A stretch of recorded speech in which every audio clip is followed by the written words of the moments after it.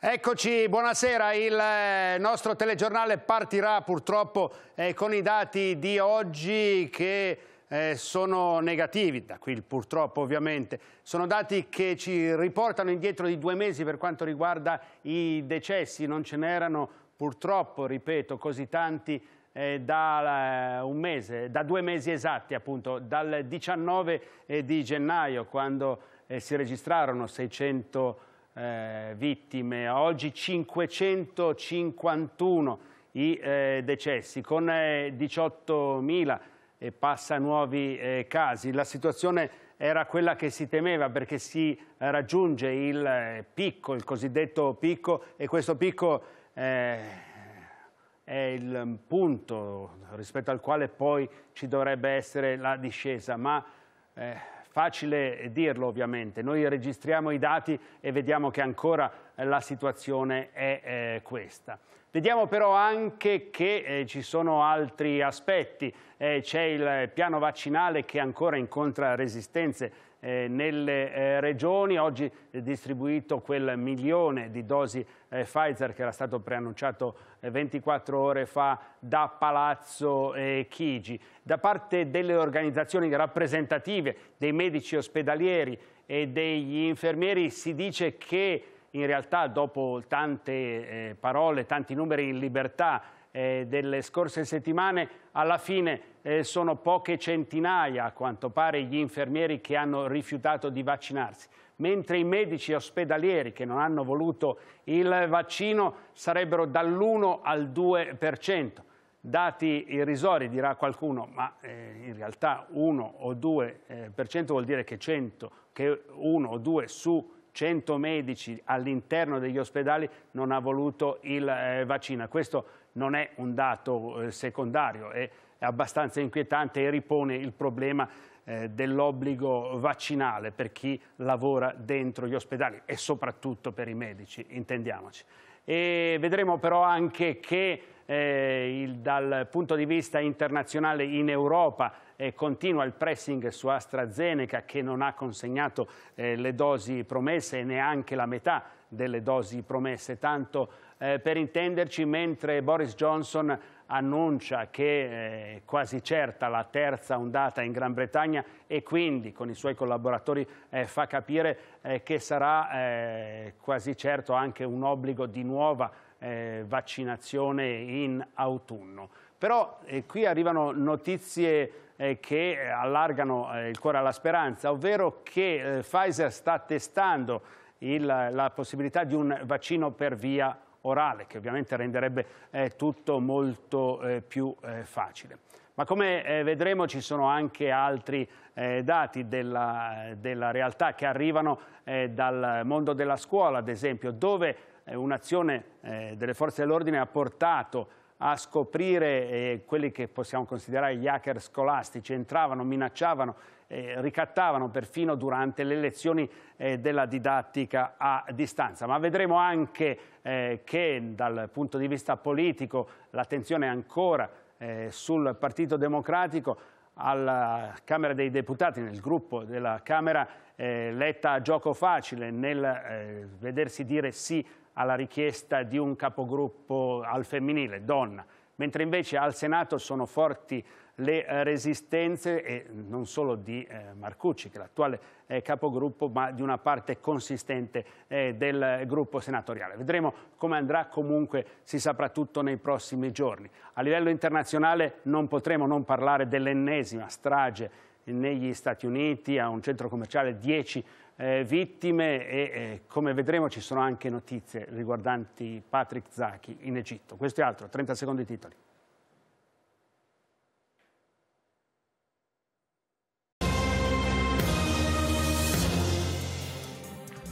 551 vittime oggi per il Covid, il numero più alto dal 19 gennaio scorso e purtroppo i decessi saranno gli ultimi a diminuire, dati negativi in una giornata che registra ancora un aumento della pressione su terapie intensive e strutture ospedaliere. La grande quantità di tamponi fa scendere il tasso di positività al 5,6%. Potremmo essere vicini al picco. Arrivate e distribuite le dosi Pfizer, annunciate ieri un milione, ma in molte regioni non si riesce ancora a velocizzare la somministrazione. Uno o due ospedalieri, medici ospedalieri su 100 rifiutano di vaccinarsi. In tutta Italia eh, sono tra i 1.000 e i 2.000 su un totale di 114.000. Gli infermieri che invece sono opposti alla vaccinazione sono soltanto un centinaio. Il dato reso noto dalla NAO Assomed, il maggiore sindacato degli ospedalieri, rilancia la discussione su una eh, legge che renda obbligatoria l'immunizzazione per medici e infermieri. Draghi interviene all'iniziativa Sud, progetti per ripartire, promossa dal governo e delinea uno scenario molto chiaro, investire bene i fondi in arrivo dall'Unione Europea per colmare lo squilibrio tra nord e sud con attenzione soprattutto a giovani e donne. Nel giorno in cui l'Istat lancia l'allarme, nell'anno Covid la disoccupazione ha raggiunto 15 punti percentuali in più nel mezzogiorno. Entravano in chat, interrompevano le lezioni e in questo modo permettevano a chi li aveva ingaggiati di evitare le interrogazioni, individuare tre hacker della didattica a distanza, uno dei quali minorenne è stata la polizia postale di Genova.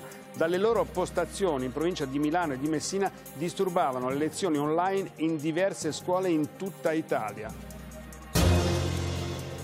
Il primo ostacolo nel cammino di Enrico Letta arriva dall'interno e si chiama Andrea Marcucci. Contrariamente a quanto fatto da Graziano De Rio alla Camera, il senatore di base riformista non vuole lasciare l'incarico di capogruppo in Senato a una collega, come chiesto dal eh, segretario. Sarà braccio di ferro sino alla votazione di giovedì.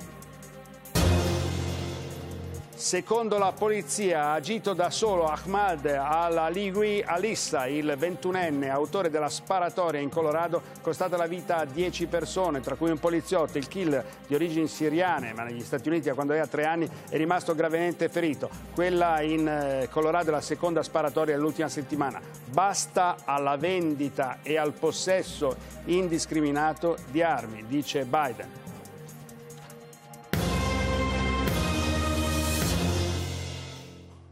Buonasera, speravamo di non eh, dover mai più aprire il giornale eh, con altre notizie sconfortanti proprio dal eh, fronte dei dati del bollettino eh, quotidiano. Invece oggi, sperando che sia l'avvicinamento al picco e che eh, di qui in poi entro pochi giorni eh, si parli di quel numero che si abbassa in ogni colonnina, soprattutto in quella più pesante, eh, quella dei morti, invece oggi ci tocca eh, di nuovo appunto eh, dare notizia di un bilancio eh, molto molto pesante, 551 decessi, non ce n'erano così tanti da due mesi a questa parte e non è l'unico eh, dato non certo incoraggiante. I dati del bollettino di oggi sono brutti, ancora in peggioramento a cominciare dal numero dei morti che sale a 551, numero drammatico. Ieri erano stati 386, mai così tante vittime in 24 ore dal 19 gennaio scorso, quando i morti per Covid furono 603. 550 vittime le ritroviamo il 13 novembre del 2020 nel record seconda ondata quasi 19.000 nuovi positivi, quasi 5.000 più di ieri, con più di 335.000 tamponi processati molecolari e antigenici, col tasso di positività che scende al 5-6%, unico indice col segno meno, ieri era l'8,2%. Insomma, il contagio continua la sua corsa in attesa che si vedano tra due settimane gli effetti delle misure di contenimento in atto e delle vaccinazioni in corso, una doccia fredda sulle speranze di un calo, di un abbassamento della curva. Ancora sotto tensione le strutture ospedaliere continuano a salire i ricoveri, alla voce posti occupati nelle terapie intensive, nel saldo tra uscite e nuovi ingressi c'è un più 36 e sono in totale più di 3.500 mentre gli ingressi nei reparti ordinari aumentano di 379 unità. Boom di ricoveri, 99 morti in Lombardia, che torna a essere la regione più colpita. Continua a crescere il numero dei pazienti Covid nelle Marche, quasi 1100 ricoverati. In Piemonte oggi il numero delle vittime positive da inizio della pandemia supera quota 10.000 I casi totali da quando è iniziato tutto sono quasi 3 milioni e mezzo, le vittime totali 105.879. Oggi sono arrivati eh, nuovi eh, quantitativi di dosi, un milione e passa, era stato eh, preannunciato ieri dal governo, da Palazzo Chigi e oggi appunto sono state distribuite in tutte le regioni appunto le nuove dosi, ma in molte regioni ancora ci sono segnalazioni eh, dell'applicazione a rilento del piano eh, vaccinale, soprattutto per quanto riguarda gli anziani e eh, le persone più eh, fragili. Già resta questo il eh, problema principale. Mentre attraverso un dato eh, diffuso dalle organizzazioni rappresentative dei medici ospedalieri e del personale infermieristico eh, si viene a sapere che c'è una percentuale certo esigua ma non eh, trascurabile soprattutto di medici che lavorano negli ospedali che hanno rifiutato di vaccinarsi.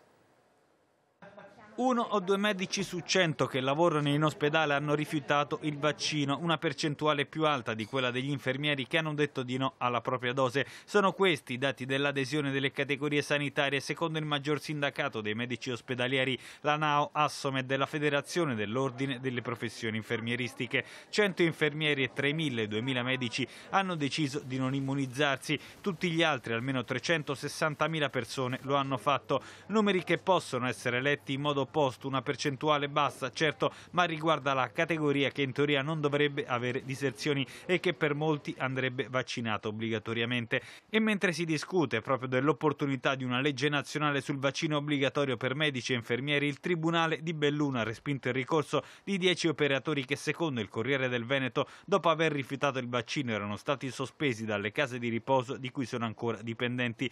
La direzione delle RSA ha incassato il loro no all'immunizzazione, li aveva aveva messi in ferie erano stati in seguito dichiarati inidonei al servizio dal medico del lavoro e sospesi senza stipendio. Il giudice ha detto di no al loro reintegro perché il datore di lavoro ha l'obbligo di mettere in sicurezza i dipendenti e gli ospiti delle case di riposo. Il vaccino, ha scritto il giudice Veneto, è efficace per ridurre gli effetti del virus. Le prove stanno nel drastico calo dei decessi tra chi si è immunizzato. Più di 4 milioni tra medici, infermieri, ospiti delle RSA hanno ricevuto almeno una dose e gli effetti sono riassunti riassunti in questo grafico nel report dell'Istituto Superiore di Sanità. La linea grigia indica i casi di Covid, la gialla i positivi tra gli operatori sanitari. Dall'arrivo del vaccino rappresentato dalla linea tratteggiata, mentre il trend dei contagi nel paese è aumentato, quello tra chi ha ricevuto le due dosi si è drasticamente ridotto. Sul tema vaccini oggi arriva la lettera di Gennarino De Fazio, segretario della WILPA, Polizia Penitenziaria, che attacca il presunto stop alle vaccinazioni iniziate nelle carceri, dove in sette giorni ci sono stati più di 120 casi di Covid. Sarebbe un declassamento dell'attenzione sulle carceri, scrive. Nessuna sospensione fa sapere l'ufficio del commissario Figliuolo. Anche per i detenuti verranno applicati i criteri scelti per il resto della popolazione, quindi iniezioni agli over 80 alle persone più fragili e in ogni caso chi ha ricevuto la prima dose riceverà anche il richiamo.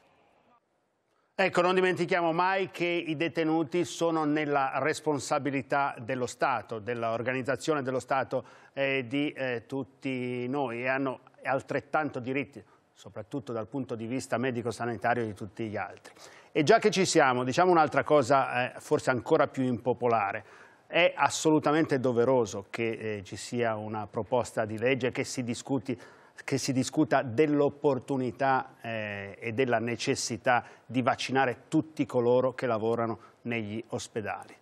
Lì arrivano i più anziani, i più eh, fragili, coloro che sempre, fra l'altro, eh, all'interno delle mura ospedaliere rischiano di più. E allora non si può trascurare nulla a questo riguardo. Invece di eh, trastullarsi nella retorica del premio Nobel ai medici e infermieri italiani, come se poi quelli degli altri paesi non avessero avuto la stessa assoluta abnegazione. Aiutiamoli economicamente, adeguiamo i loro stipendi, ma aumentiamo anche eh, dire, il barrage delle responsabilità e dei doveri, il primo dei quali è ovviamente di non essere anche involontariamente fonte di ulteriori contagi. Andiamo a vedere ora come eh, questa eh, vicenda che purtroppo eh, da un anno condiziona tutte le nostre vite ha in Italia aumentato lo squilibrio tra nord e sud e cosa si può fare adesso che i soldi dell'Europa ci possono permettere di eh, programmare per il futuro.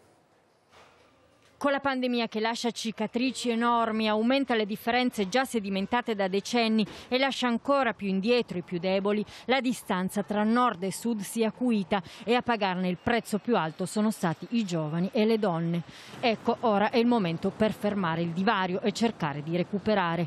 Il Premier Draghi interviene all'iniziativa Sud Progetti per ripartire promossa dalla ministra Carfagna e ha bene in mente cosa bisogna fare. Serve spendere bene i fondi in arrivo dall'Unione dell'Unione Europea, quei 191,5 miliardi del programma Next Generation EU che ci permetteranno di aumentare la spesa in infrastrutture, ma serve avere obiettivi precisi. Vogliamo fermare l'allargamento del divario e dirigere questi fondi in particolare verso le donne e i giovani. Il nostro, il vostro successo in questo compito può essere anche un passo verso il recupero della fiducia nella legalità e nelle istituzioni, siano esse la scuola, la sanità, o la giustizia. Serve mettere il Sud al centro di iniziative operative concrete perché i dati sono allarmanti e raccontano di un paese pieno di contraddizioni e disuguaglianze. La scolarità femminile nella sola regione Campania vede quasi 600.000 donne non oltre la licenza elementare. Tra il 2008 e il 2018 la spesa pubblica per investimenti nel mezzogiorno si è più che dimezzata. La differenza occupazionale tra nord e sud è del 15%. La percentuale dei cosiddetti NEET, giovani che non studiano, non hanno un lavoro, non sono impegnati in nessun tipo di percorso formativo al nord è del 23%, al sud del 32%. Ma certo, avere i fondi non basta, le risorse che l'Italia avrà a disposizione non porteranno necessariamente alla ripartenza del mezzogiorno, perché l'Italia tutta intera deve essere anche capace di completare le opere pubbliche. Basti pensare che degli oltre 47 miliardi di euro programmati nel Fondo per lo sviluppo e la coesione dal 2014 al 2020, alla fine dello scorso anno erano stati spesi poco più di 3 miliardi, il 6,7%. Draghi lo spiega bene, nel 2020 2017 in Italia erano state avviate ma non completate 647 opere pubbliche. Il 70% di queste opere non completate era localizzato al sud per un valore di 2 miliardi. Che la pandemia sia quindi l'occasione per ripensare a valori e criteri e per farlo serve l'aiuto di tutti. In questa sfida un ruolo cruciale è anche vostro, classi dirigenti, e l'appello di Draghi, ma un vero rilancio richiede la partecipazione attiva di tutti i cittadini.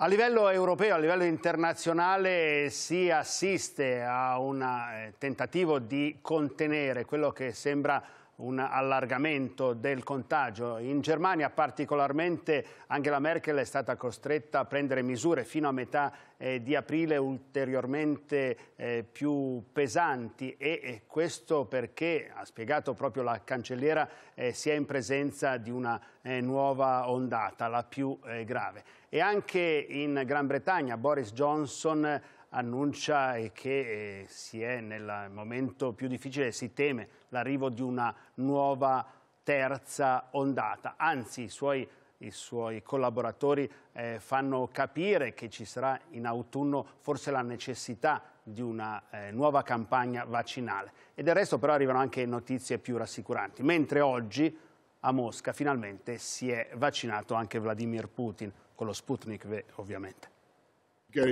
Never give up, si dice in inglese, non mollare mai. Ed è un po' quello che con termini meno prosaici ha dichiarato oggi il premier britannico Johnson, facendo il punto sull'emergenza Covid. Il Regno Unito, ha detto, deve essere conscio della prospettiva concreta di una terza ondata di contagi di ritorno dall'Europa continentale, alimentati dalle varianti.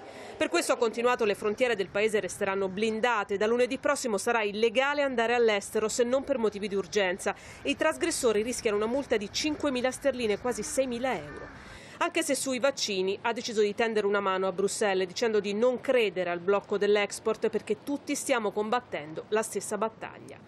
La stessa battaglia che si combatte anche in Germania con le stesse restrizioni. Oggi la Merkel, di fronte a un aumento esponenziale della contaminazione a una nuova variante molto più letale di Covid-19, ha deciso di chiudere in lockdown rafforzato tutto il fine settimana di Pasqua. La maggior parte dei negozi saranno chiusi, appunto, le funzioni religiose annullate nel fine settimana dall'1 al 5 aprile.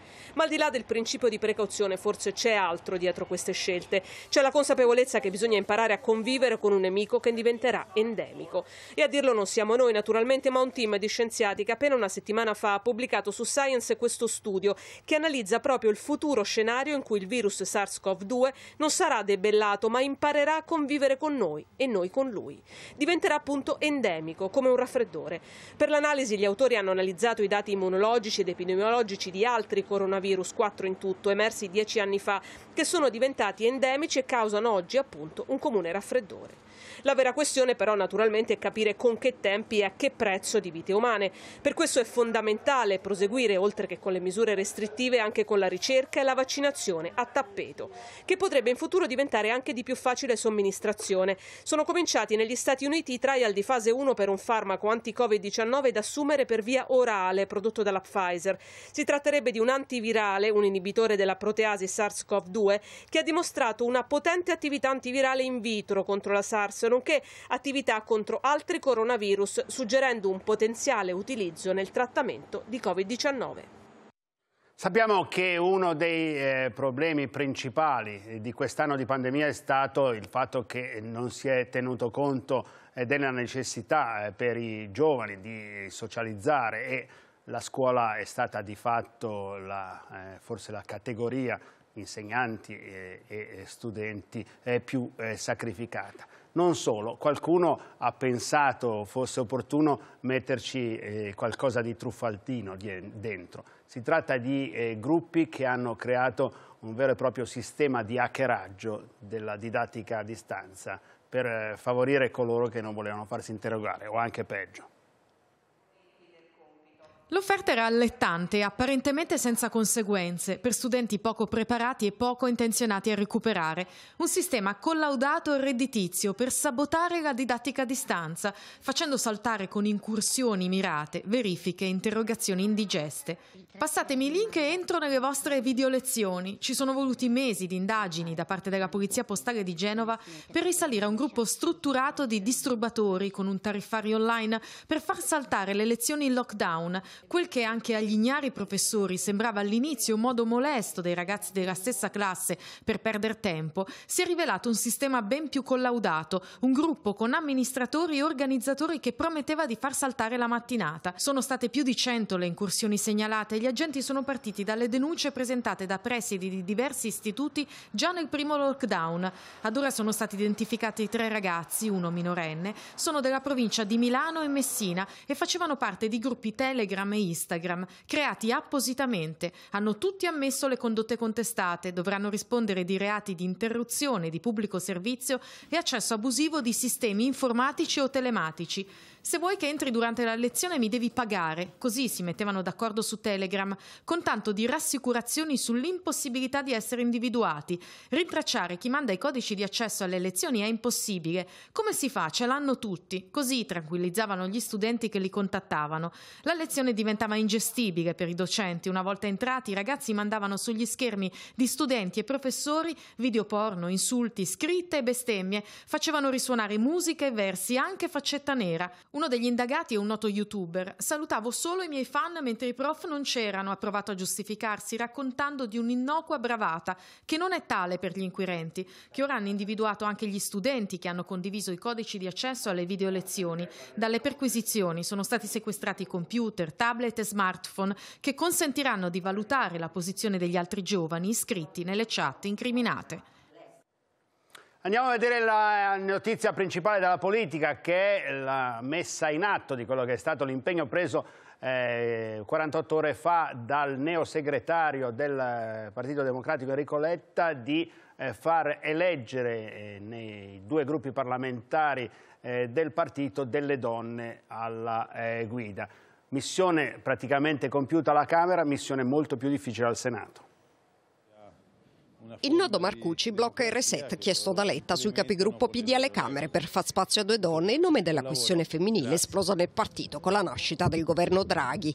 Primo ostacolo sul cammino del neosegretario nonostante l'unanimismo che l'ha portato alla guida del PD e l'apparente deposizione delle armi da parte delle correnti. Sia la Camera del Rio ha messo sul piatto le sue dimissioni. Sono il primo a farmi da parte, la sfida per la parità di genere è la mia, ha detto. Al Senato Marcucci, il capogruppo di base riformista, la corrente degli ex renziani non molla. Non è bastato il faccia a faccia con Letta prima della riunione dei senatori a risolvere la questione. I due sono arrivati insieme all'assemblea, preceduti dalle parole del segretario. Un'intesa tra Pisani e Lucchesi si trova sempre, ha scherzato riferendosi alle comuni radici toscane, ma con il nodo ancora sul tavolo. So che chiedono un grosso sacrificio a Del Rio e Marcucci, le parole di Letta, di fronte ai deputati prima e ai senatori poi. Chiedo un atto di generosità per gestire questo passaggio. Evitiamo di stare settimane sui giornali su questi temi interni. Parole rintuzzate da Marcucci che già questa mattina aveva scritto un post rivendicando le cose fatte alla guida del gruppo. Indigeribile per il capogruppo usare la parità di genere come paravento per una questione tutta politica. Capigruppo incalza Marcucci, io voglio coerenza, bisogna interrompere la tradizione di avere segretari sempre uomini. Il paese è in affanno, non voglio che il PD si limiti a parlare di parità di genere al proprio interno, spiega. Sappi, dice rivolgendosi a Letta, che noi non siamo in incoscienti, ma pretendiamo coerenza. Il passaggio sulla delegazione europea, ad esempio, a me non è piaciuto, dice riferendosi alla recente rielezione del capogruppo uscente Brando Benifei, uomo anche lui. Il braccio di ferro è rinviato a giovedì mattina alle nove e mezza, quando sarà l'assemblea del gruppo, dove gli ex renziani sono maggioranza, con 22 voti su 35, a votare per il capogruppo. La mia riflessione ovviamente sarà per lavorare eh, e decidere su una mia candidatura o su una candidatura di una donna che sarà concordata con tutto il gruppo. Dal Nazareno filtra ottimismo e non si esclude che sia la sua stessa area di riferimento, base riformista, a tirare il freno a mano. A livello internazionale spicca ancora una volta una notizia devastante dagli Stati Uniti, un'altra strage in un centro commerciale, 10 morti è il solito problema, la facilità con cui si trovano le armi e poi le si usano in questo modo. Tanto che Biden eh, parla, e ancora una volta succede questo, come eh, succede quasi tutti gli anni negli Stati Uniti, di una legge per rendere più difficile l'acquisizione di queste armi. Non si può aspettare un minuto di più per proibire l'uso delle armi, dobbiamo avere finalmente una legge. Il presidente Joe Biden parla alla nazione poche ore prima, alle due del pomeriggio, in un supermercato di Boulder in Colorado, un uomo ha ammazzato dieci persone. Il Presidente parla e dice quello che ci si aspetta da un Presidente democratico, ovvero che bisogna mettere un freno alla vendita e al possesso indiscriminato di armi e che non dovrebbe nemmeno essere una questione di parte. Qui, aggiunge Biden, si tratta di salvare vite di americani. Non è così, ovviamente, di parte lo è come. La lobby delle armi lo sa bene e si è mossa immediatamente, anche perché insieme a Biden hanno rilanciato il tema Obama, la speaker della Camera Pelosi, il capogruppo gruppo dei democratici al Senato, ma tocca al Congresso decidere. Certo, sciocca il paese la seconda strage in meno di una settimana. Otto i morti ad Atlanta nei centri massaggio mercoledì scorso, dieci oggi. Fra la gente in fila per la spesa e il centro vaccinazioni ospitato negli spazi del King Super. A sparare, dicono gli agenti che piangono la perdita di un poliziotto, 51 anni, padre di sette figli, a sparare, dicevamo, sarebbe stato un ragazzo di 21 anni, Amada Alissa. È entrato, ha aperto il fuoco senza dire una parola, raccontano alcuni testimoni. Imbracciava un fucile semiautomatico AR-15. Lo aveva comprato una settimana fa. Nessuno lo aveva fermato. La messa al bando delle armi automatiche era stata appena bocciata dieci giorni fa da un giudice locale. Eppure lo conoscono bene da queste parti il semiautomatico AR-15. Il Colorado è pur sempre teatro di una delle più efferate stragi mai raccontate, quella al liceo Columbine 21 anni fa, come quella al multisala Central ad Aurora. Non c'è mai un motivo valido né razionale per sparare all'impazzata. Il fratello di Amada Alissa dice forse soffriva di turbe mentali, da piccolo è stato bullizzato. Viveva negli Stati Uniti da tempo, veniva dalla Siria. A casa gli hanno trovato altre armi. Bisogna anche dire che si sta votando ed è la quarta volta che eh, Israele va alle urne in due anni per appunto eleggere il eh, Parlamento, la Knesset. Le operazioni di voto si concludono eh, tra poco più eh, di mezz'ora. E come al solito è un referendum eh, su eh, Netanyahu. Vedremo domani i risultati. L'ultima pagina del giornale è dedicata però a una battaglia che non dobbiamo eh, smettere di portare avanti, quella per la libertà di Patrick Zaki. Una parte del mondo arabo l'altro ieri ha celebrato la festa della mamma e a sorpresa i magistrati del caso Zaki hanno concesso alla madre e alla sorella di Patrick un permesso straordinario per fargli visita nella prigione di Tora oggi. Lo hanno trovato stanco, triste, pessimista, spento, un'altra persona. Il ricercatore egiziano dell'Università di Bologna, attivista per i diritti umani, è rinchiuso per propaganda sovversiva da quasi 14 mesi, accusato di aver messo su Facebook 10 post che invitavano il popolo a rovesciare il governo di Assisi. Zaki nega, dice di poterlo dimostrare che quei post non li ha scritti lui, ma non gli permettono di difendersi. Ciclicamente, a colpi di 45 giorni per volta, tre giudici gli rinnovano il periodo di detenzione preventiva e il tempo passa. Ma se gli egiziani non conoscono la storia di Zaki perché il regime controlla i media, se fuori dall'Egitto le diplomazie poco possono o vogliono fare, c'è un piccolo grande mondo che lo pensa, lo ricorda, gli fa gli auguri per l'onomastico mercoledì scorso discorso lo incoraggia a resistere.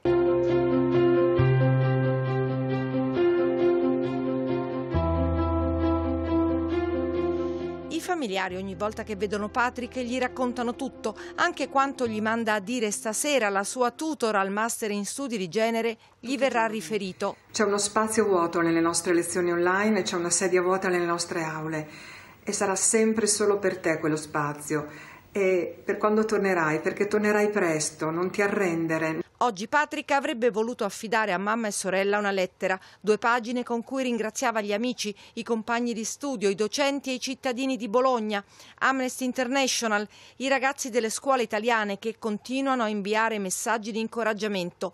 Ma il poliziotto che sorvegliava il colloquio ha deciso che la lettera di Patrick Zaki non sarebbe uscita dal carcere e lì dentro è rimasta.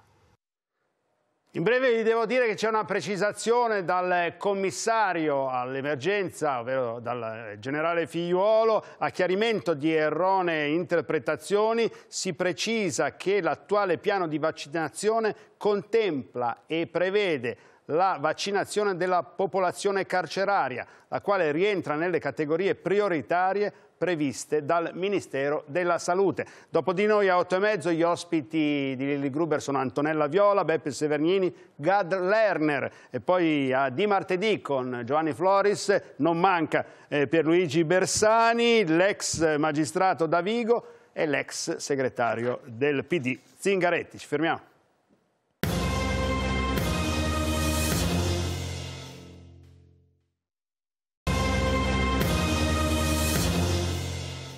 Infine negative le borse, Milano ha chiuso con un meno 0,61% e in questo momento a Wall Street Dow Jones meno 1% esatto, Nasdaq meno 1,15%. È tutto, Gruber, Flores, ci vediamo domani sera, buonasera.